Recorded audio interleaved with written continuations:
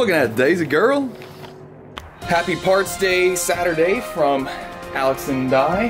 No, grammatically that's incorrect. It's from me and Alex. Because if you remove Alex, then it would be Happy Saturday from I. And so, I and Alex. no, Alex and I. me and Alex. Uh, Yes. If you remove the other clause, if I take out your name, if I said Happy Saturday from I, that's not correct. You'd say Happy Saturday from me. So Happy Saturday from me and Alex. This crate belongs to me and Alex. me and Alex though, but it's Alex and it's I are wrong. going to Rogers because if you take out Alex, then it's It's wrong I though because people will say you're trying to say me and Alex. What do you mean? It is me and Alex. Let's try that again. Happy Saturday, happy parts day. We're going over to Grandpa Rogers right now to do some more work on what do you know, Alex is 440. And so we've got some more parts listed in the boxes over here. Some cool stuff from 440 Source, little things to get the, the rest of the car put together, um, stuff for the front pulley assembly. Well, yeah, you're mixing videos now, babe. Mixing content here stuff to get the 440 finished up here. Finally get the crankshaft balanced. In order to properly balance the crankshaft, you want to have your fluid dampener on the front and then your flex plate on the back. So this way, all the components that are attached to that crankshaft, ultimately when it's assembled as a final engine, are on there and we get everything perfectly harmonized and synchronize. So, how you doing? so, uh, so yeah, let's throw this stuff over in the car and head over to Rogers. All right, big moments here.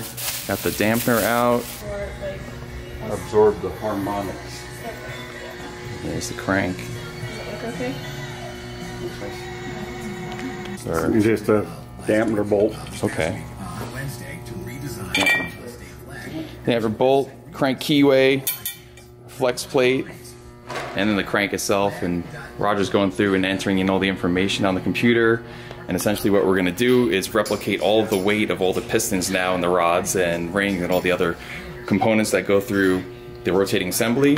And then they're going to be replicated on the crank under each crank journal with bob weights, and then those will go on there. And as this thing rotates around, we can determine where it is and out of balance, and then we can remove material out of the crank as needed, and then get this thing perfectly synchronized and balanced. So, flex plate will go back here on the back crank, just like it would, sticking out of the backside of the engine when it's assembled.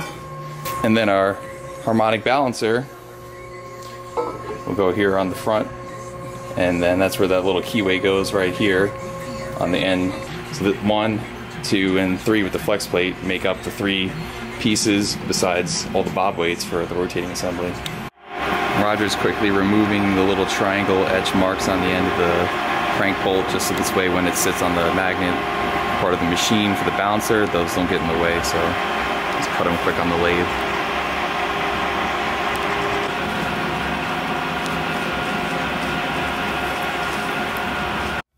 Now it's nice and smooth and surfaced like that.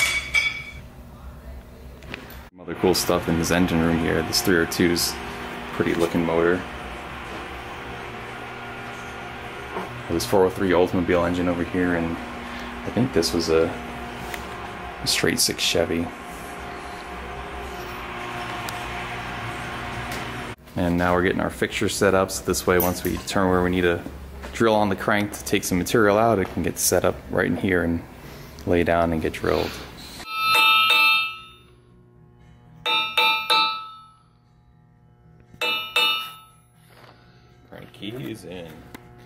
Surfaced and polished, all the journals are on the crank from all those nice chamfers on the oiling holes.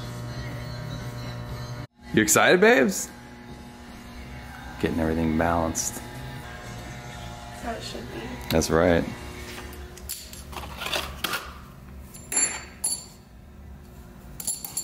Always the fat one, when you're looking for skinny one. yeah, right. Five thirty-nine point seven, so we gotta be at twelve sixty-nine eight. 9.8.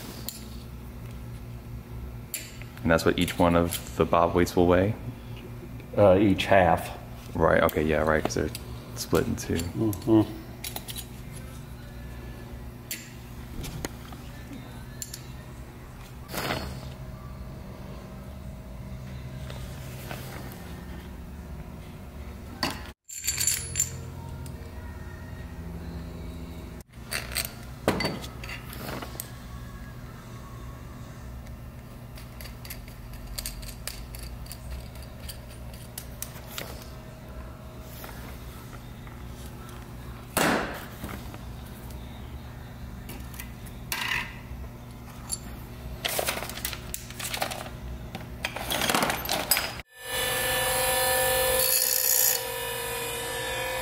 Mm-hmm. right as we get down to the end here, we just gotta trim a couple little custom shims, aka washers, and get that 169 right where we need it.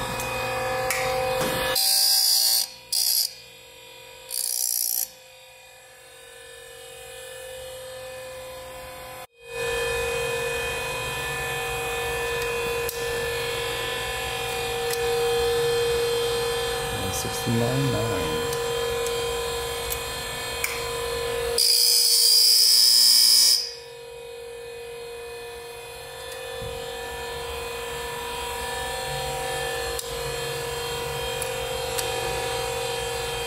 One sixty-nine eight. Cool.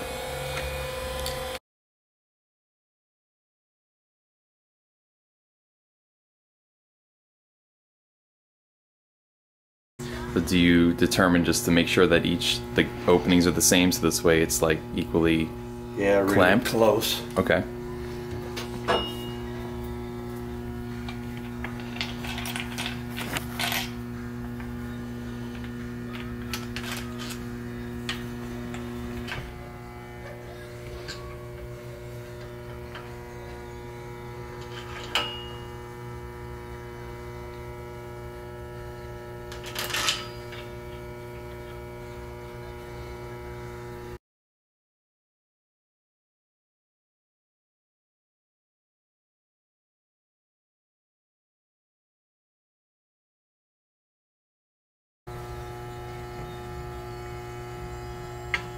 When do you set them both on like the same plane? They're Mm-hmm. okay.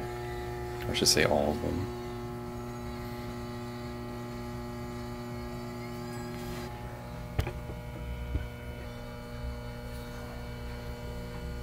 Sir?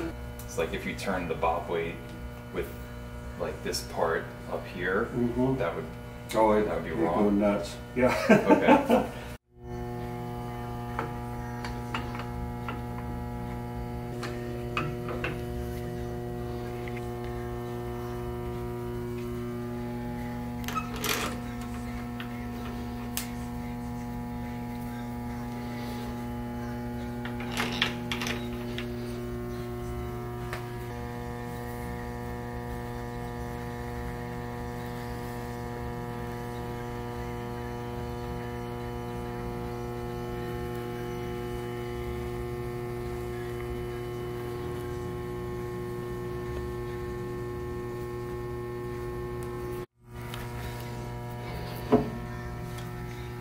And we're just ensuring that all of the bob weights have equal openings and they're set equally balanced on the journals themselves with checking with the micrometer.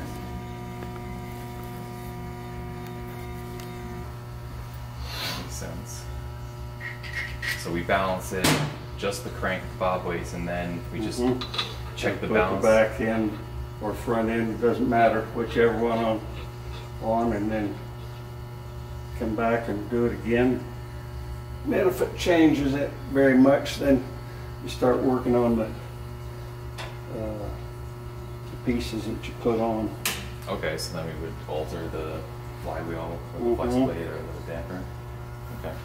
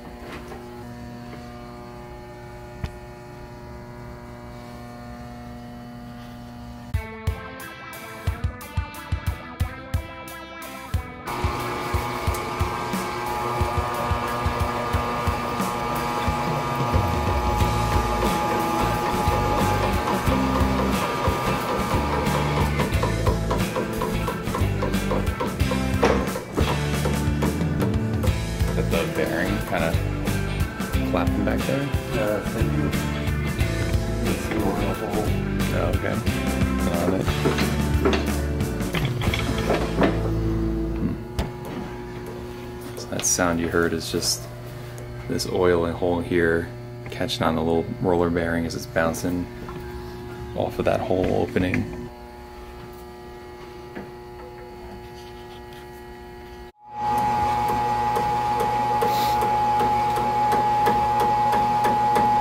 Anything that's going to cause a vibration, right. we'll throw it off. We keep running into the issue with the oiling hole catching on this bearing and you can actually see right here leaves a little imprint of the circle of the oiling hole right there where it's catching, and that's going to cause it to bounce as it's balancing and going to throw off obviously the entire process. So we got to figure that out real quick, and then we'll get this going good.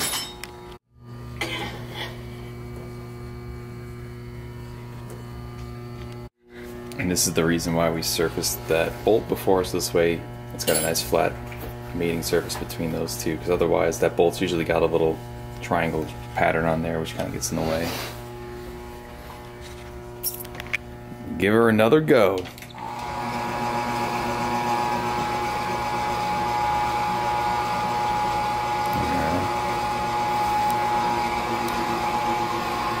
So does the computer do all of the analyzation of where the imbalanced spot is? Yep. Okay. On the left. Yeah. So you roll this around till this turns green. Uh huh. And that's telling you exactly where you gotta take material the- out. Okay. What's that second And little? it tells you what this, then it tells you, well, depending on what size drill bit you do it with, this is, this is 93 grams out, Mm-hmm. 0.8, 93.8, almost the same on both ends. Okay. And that's referring to just the the both end counterweights. It or not, she rotated 180 degrees. Mm-hmm. which is here where you can't put any weight, Right. but if you could,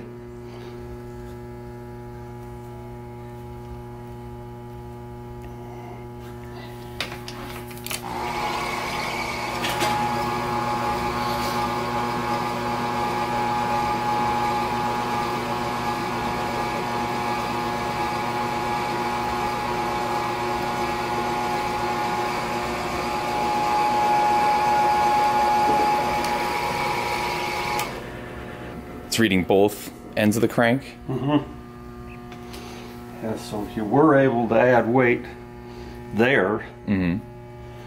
which we put 15 grams there, Right. Now I went so down to pull this 80. down, so it's telling you, Okay. you know, you're double checking that it's telling you what you Right. it is correct. So back to where we were before. Yeah.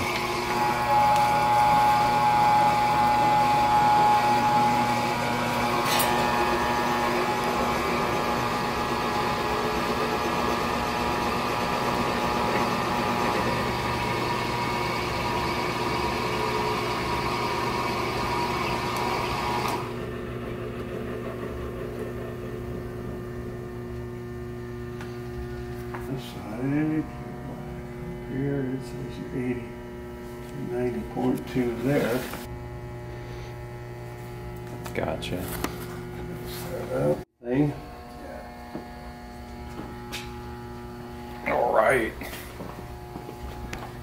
Getting weeds this morning, huh? Yeah. Drop this the wrong way on your foot and you have a room. Oh yeah. You very gently set your mains there. Okay.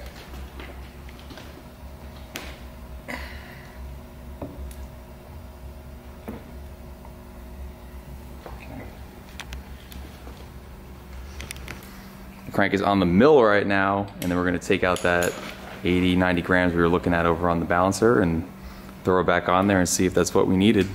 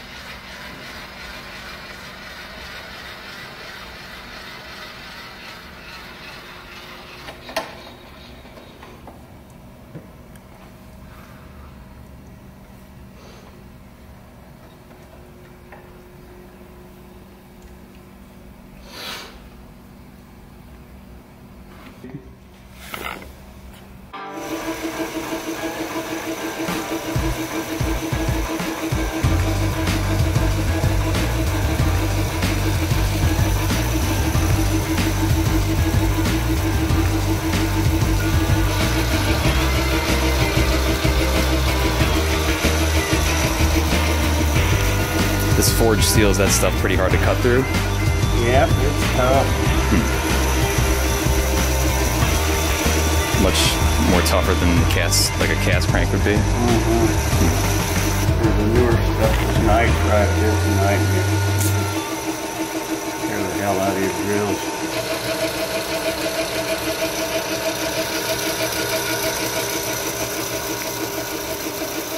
Would those existing holes be just done like at the factory? Or uh-huh. those? Okay.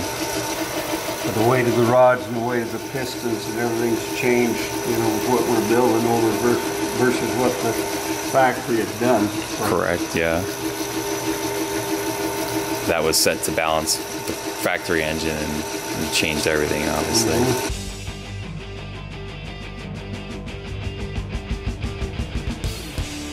The forged crank material's heavier, Okay. so you, you don't want to just go blasting out and Take too much. left field. Yeah. It's gonna sneak up on them.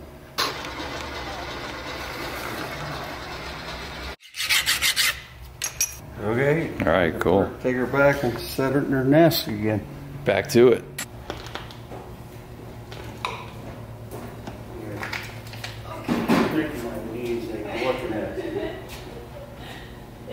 Yeah, fifty years from now, you'll appreciate that.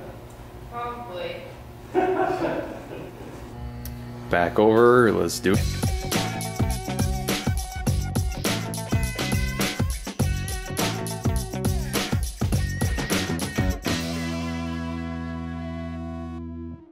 It's better than three too many.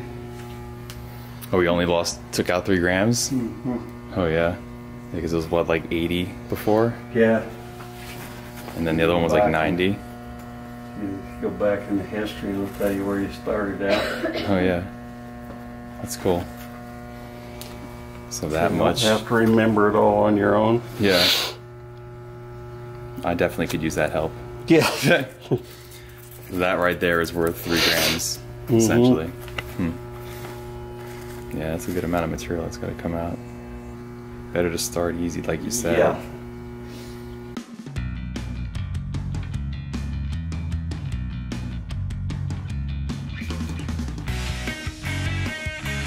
And just like when we were balancing out the stuff, it's a game of rinse and repeat now. Take some more material out, go back to the balancer, give it another shot, and keep playing with it until we get there.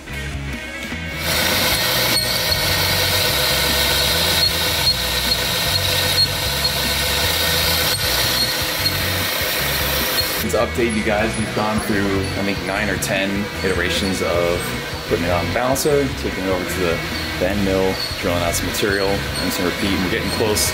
We've got about 38 grams to go on each side right now, so coming in, maybe another couple cuts, we should be about where we need to be. All right, we just made another cut. Hopefully this one gets us pretty close. We had 38 grams and 35 grams the last time. It's no fun for the day. Yeah. Screw it. Well, you heard the man. We'll come back and finish this off another day because it's getting late on Saturday. So we'll catch you then.